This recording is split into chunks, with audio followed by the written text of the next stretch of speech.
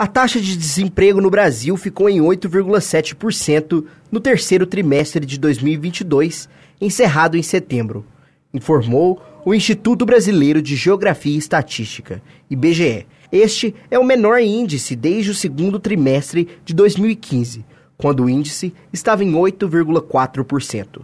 Por outro lado, o trabalho informal também bateu o recorde anual Hoje são 13,2 milhões de brasileiros trabalhando sem carteira assinada nem direitos trabalhistas. O resultado do terceiro semestre aponta para uma continuação na queda do desemprego no país.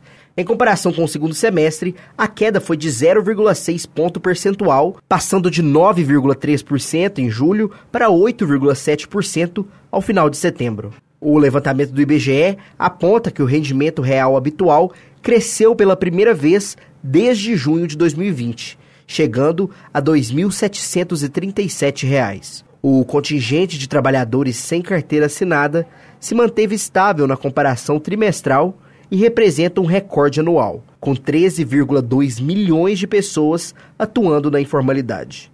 Este é o maior nível desde o início da série histórica do IBGE em 2012.